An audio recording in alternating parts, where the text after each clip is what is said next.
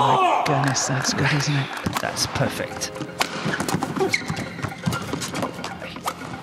That Oh, is that is awesome superb. play. Uh, the All England champion. Hello and welcome to HSBC Sport Couch Commentary. I'm Gill Clark and I'm absolutely delighted to say that we're joined today by Lee Zii Jia, the new star of Malaysian badminton. Well, let's talk about your All England uh, win in Birmingham in March.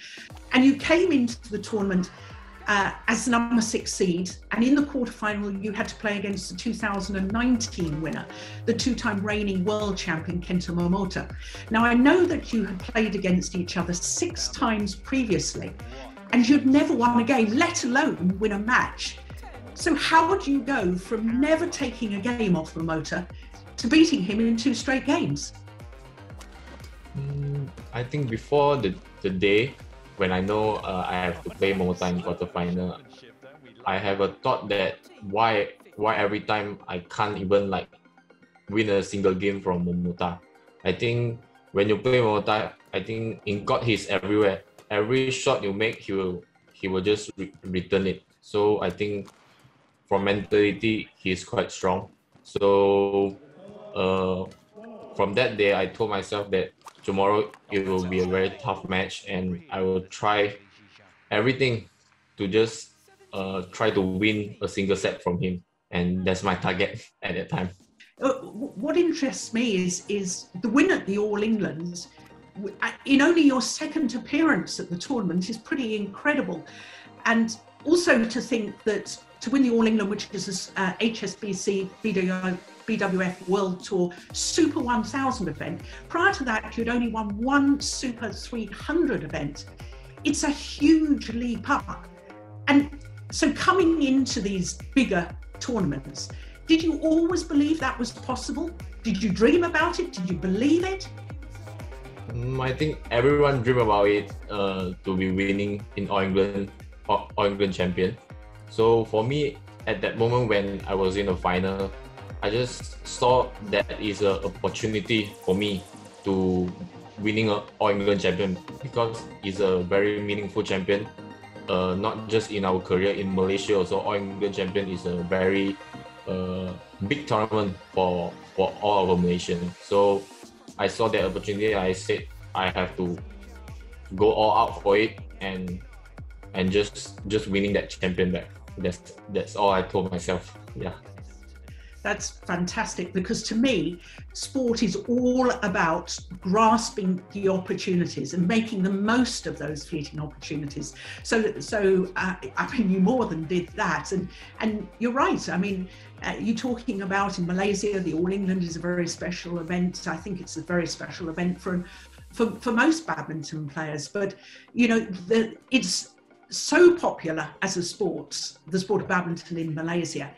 Um, and I think after your victory, I think even the Prime Minister congratulated you on Facebook. So, you know, apart from everybody taking notice, what do you think it means to people in Malaysia, the fact that at the age of 22, you win the All England title? There's also uh, been a very big pressure for me uh, all the time after, especially after Dato' Lee Chong Wei uh, retired, and and I think uh, after this tournament, I have proved it that uh, I'm gonna gonna be the one. I, I guess, uh, Zii Jia, the big breakthrough for you after the uh, bronze medal at the World Junior Championships came when you were just 20. And in 2018, you won the Chinese Taipei Super 300 event, having beaten the number one seed and two time defending champion, Chou Tien Chen, in the semi final. And you won that title while playing your first tournament back on the World Tour after a long time out with a back injury. Yeah, uh, before before the Taipei Open, I almost rest like two to three months because uh, I'm having a back injury, and uh, there's a uh, this uh for me the Taipei Open is a very uh memor- memorable uh honor for me because uh I just having my injury back and I got into the final and win the champion and almost uh, and also win uh, Chou Tien Chen also, and uh, it's a big confidence for me uh, to continue my career and also uh, to challenge my my career also.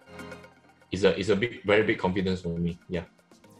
Yeah, I I felt it was very much a a turning point that could launch you onto bigger and better things. But it, it's interesting to me that you come out of that low of the back injury to an immediate high so that, you know, I, am interested to know how you cope with the lows because uh, for any athlete, an injury is a low.